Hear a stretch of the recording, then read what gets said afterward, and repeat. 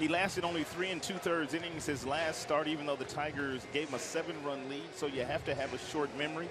He needs to make some adjustments. The first time through the batting order, Rick is sensational, but the second and third time through, adjustments aren't made. The opposing teams do a little damage against him.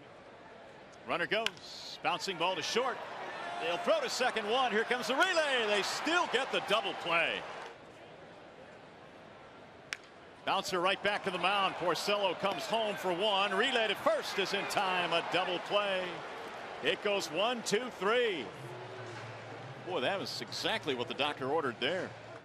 Justin Morneau, the batter, pulls this one to second. What does that look like a double play. Four, six, three. Another one for Porcello. Strike call. See you later. Kubel is out of there. And Porcello has a strikeout. Play in the third. Checked it. Did he go? Yep.